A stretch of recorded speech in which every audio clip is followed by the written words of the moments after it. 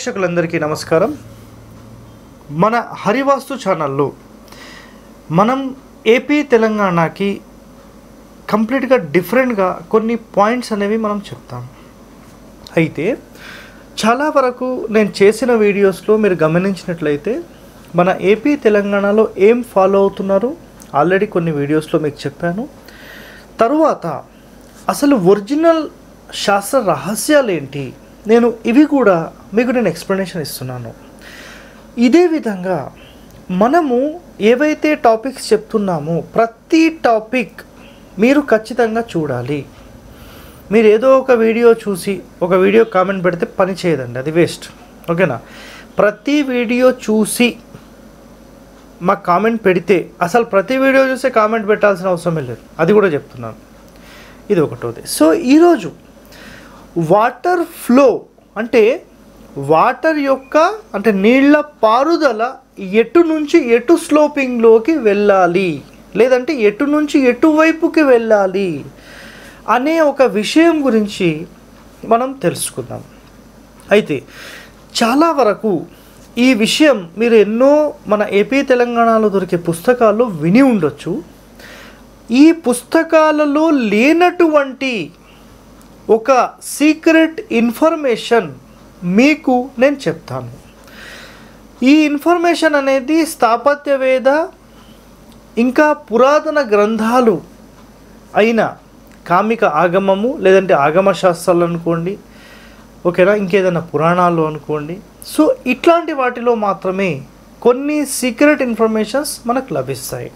So ఇక్కడ మనం చెప్పే టాపిక్ నీళ్ళు ఎటు నుంచి ఎటు వెళ్ళాలి అనేది ఒక కాన్సెప్ట్ అనమాట సో మనము ఇంతకు ముందు ఈ వీడియో గురించి అయితే ఎప్పుడు డిస్కషన్ చేయలేదు. సో ఈ వీడియో పూర్తిగా చూడండి.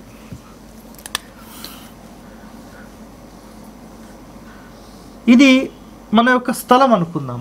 స్థలం అనుకుంటారా? ఇల్లు అనుకుంటారా అనేది మీ ఇష్టం. So east south west north. మళ్ళీ తెలుగులో చెప్పలేదంటారు. ఇది తూర్పు ఇది దక్షిణము ఇది పడమర ఇది ఉత్తరం. అయితే నీళ్ళు ఎటు నుంచి ఎటువైపుకి ఫ్లో ఉండాలి అంటే చాలామంది చెప్పేది ఒకటే అదేంటంటే ఇది నైరుతి. ఇది నైరుతి ఇది వాయువ్యము ఇది ఈశాన్యము ఇది వచ్చేసేసి ఆగ్నేయం. సో మీరు ఎవరిని అడిగినా వాళ్ళు ఒకటే ఒకటి చెప్తారు. ఏంటంటే నైరుతి నుంచి వాయువ్యానికి వెళ్ళాలి. నైరుతి నుంచి ఆగ్నేయానికి వెళ్ళాలి. వాయువ్యం నుంచి ఈశాన్యానికి వెళ్ళాలి. ఆగ్నేయం నుంచి ఈశాన్యానికి వెళ్ళాలి. అయితే ఒకే ఇన్ఫర్మేషన్ ఒకే సిస్టమ్ ఇంటి లోపల పాటించేది ఇంటి బయట మనం పాటించము. ఇవి రెండు సూత్రాలకు ఇంప్లిమెంట్ చేయాలి. ఆ రెండు సూత్రాలు డిఫరెంట్గా ఉంటాయి. ఇది మీరు ఒక పాయింట్ అనేది గుర్తుంచుకోండి. జనరల్గా మనం ఏం చెప్తామంటే స్లోప్ అనేది అంటే ఇంటికి సంబంధించి మనం డిస్కస్ చేసేటప్పుడు నైరుతి ఎత్తుగా పెట్టడము ఈశాన్యం పల్లంగా పెట్టడము ఈ వాటర్ అంతా ఇక్కడికి రావాలి అనేది చెప్తున్నాం. ఇది కరెక్టే. అయితే మనకు ఇంటి బయట ఏదైనా వాటర్ ఫ్లోసు కాలువలు ఇట్లాంటివి ఉన్నప్పుడు ఎటు నుంచి ఎటు ఫ్లో ఉండాలనే ఇన్ఫర్మేషన్ అనేది సీక్రెట్గా మీకు ఎక్కడ కూడా ఇది లభించదు. ఓకేనా? సో ఈ ఇన్ఫర్మేషన్ ఏంటి? ఈరోజు మనం తెలుసుకుందాం. ఈ ఇన్ఫర్మేషన్ చాలా చాలా ఇంపార్టెంట్ అండి. చూడండి. మనం ఒకవేళ తూర్పు అని అనుకోండి ఈ తూర్పుకి ఆగ్నేయం నుంచి ఈశాన్యానికి నీళ్ళు ఫ్లో అవ్వాలి. సార్ ఇంతకుముందు చెప్పింది ఇదే. అది తప్పండి. నేను ఇంటి లోపల దాని గురించి మాట్లాడేసాను అయిపోయింది. ఇప్పుడు మనం బయట మాట్లాడుతున్నాం. సో తూర్పుకి ఇప్పుడు నేను చెప్పింది రాంగ్ అది. కానీ మీకు అదే రైట్ అనిపిస్తుంది. ఎటు నుంచి ఎటు ఫ్లో అవ్వాలి అంటే ఇక్కడ చూడండి. తూర్పుకి ఒక కాలువ ఉంది అంటే ఈశాన్యం నుంచి ఆగ్నేయం వైపు ఫ్లో అవ్వాలి. ఏం సార్? అసలు ఏ పుస్తకంలో ఈ విషయం లేదు? ఒరిజినల్ గ్రంథాలు మీరు చదివితే ఈ ఇన్ఫర్మేషన్ మీకు లభిస్తుంది. సాధారణ తెలుగు రాష్ట్రాల్లో దొరికే పుస్తకాల్లో ఈ ఇన్ఫర్మేషన్ ఏదో ఒక పుస్తకంలో మీకు లభించవచ్చు అంతే దానికి మించి లభించదు. ఇక్కడ చూడండి ఇంకా. నెక్స్ట్ పడమర తీసుకుందాం. పడమరలో వీళ్ళు చెప్పినట్టుగా నైరుతి నుంచి వాయువ్యానికి ఫ్లో ఉండాలి. రైట్ ఇది కరెక్టే. ఇక్కడ ఇట్లా ఉండాలి ఇది కరెక్టే. ఒకవేళ ఉత్తరం అనుకుందాం. ఉత్తరానికి మాత్రం వాయువ్యం నుంచి ఈశాన్యానికే ఉండాలి ఇది కూడా కరెక్టే. కానీ దక్షిణం వచ్చే లోపల చాలామంది చెప్పేది ఏంటంటే నైరుతి నుంచి ఆగ్నేయం వైపుకు ఉండాలి అది తప్పండి. సో ఇక్కడ కండిషన్ చూడండి. ఆగ్నేయం నుంచి నైరుతి వైపుకి వాటర్ ఫ్లో ఉండాలి. అంటే ఇక్కడ ఒక సింపుల్ అనేది మీరు ఆలోచన చేయండి. ఆ పాయింట్ ఏంటంటే ఆల్వేస్ క్లాక్ వైజ్లో మాత్రమే వాటర్ ఫ్లో ఉండాలి అనేది ఒక కండిషన్ ఉంది. అర్థమైందండి? ప్రతి దానికి మాట్లాడితే ఈశాన్యం గొప్పది అనేది కాదండి. అర్థమైందా? అష్టదిక్పాలకులలో ఈశాన్యం కూడా ఒక ప్రధానమైనదే. అయితే మిగతా మూడు పనికిరానివనేది కాదు.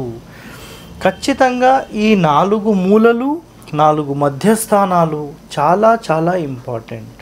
మీరు ఇది మర్చిపోకండి. ఓకేనా?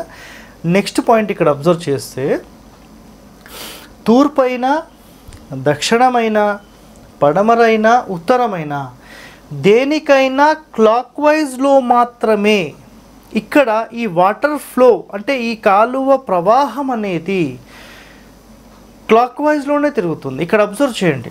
మీరు ఇక్కడ నుంచొని మీరు ఎటు చూసినా ఇట్లా తిరుగుతుంది. ఒకవేళ మీది రోడ్ ఫేసింగ్ ఈస్ట్ అనుకుందాం. మీకు ఇట్లా వెళ్ళిపోవాలి. ఒకవేళ దక్షిణం అనుకుందాం. ఇట్లా వెళ్ళిపోవాలి. పడమర అనుకుందాం. ఇట్లా వెళ్ళిపోవాలి. ఉత్తరం అనుకుందాం ఇట్లా వెళ్ళిపోవాలి. ఎక్కడ పోయి ఒకటేనండి క్లాక్ వైజ్లోనే వాటర్ బయటికి వెళ్ళిపోవాలి. కొంతమంది విద్వాంసులు కొంతమంది వాస్తుకి సంబంధించిన డెప్త్ సమాచారం ఉన్న వాళ్ళు స్థిపతులకు మాత్రమే ఈ రహస్యం అనేది తెలుస్తుంది. చాలామంది ఇంటి చుట్టూ కూడా నీళ్ళ ప్రవాహం ఉంటే గనక ఆ ఇల్లు యోగిస్తుంది. ఆ ఇంటి లోపలికి ఏ విధమైనటువంటి దుష్టశక్తి రాదు ఏ విధమైనటువంటి సమస్యలు ఉండవు. ఎప్పుడూ ఈ వాటర్ ఫ్లో ఇంటి చుట్టూ తిరగాలి అని చెప్పి చెప్పారు కదా. కొంతమంది కొన్ని వీడియోస్లో మేము ఎక్కడో చూసాం సార్ అని చెప్పి నాకు వీడియో పెట్టారు. చాలా రోజుల ముందు ఒక కామెంట్ పెట్టారు. కరెక్టేనండి టైం వచ్చినప్పుడు నేను చెప్తానని చెప్పాను. సో ఇప్పుడు సందర్భం వచ్చింది. సో ఇక్కడ సింపుల్గా మీకు పాయింట్ అయితే ఒకటే.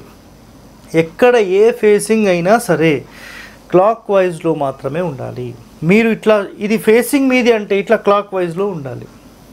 ఇది ఒకటే మైండ్లో పెట్టుకోండి. అర్థమైందండి?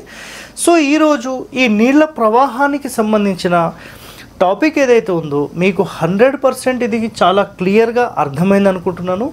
ఇలాంటి ఇన్ఫర్మేషన్ కేవలం మీరు మాత్రమే కాకుండా మీకు తెలిసిన వాళ్ళందరికీ కూడా వీటిని షేర్ చేసి వాళ్ళకు కూడా ఈ ఒరిజినల్ శాస్త్రానికి సంబంధించిన రహస్యం ఏంటో తెలుసుకునేలా హెల్ప్ చేయగలరని ఆశిస్తున్నాను. థ్యాంక్ యూ అండి. ధన్యవాదాలు.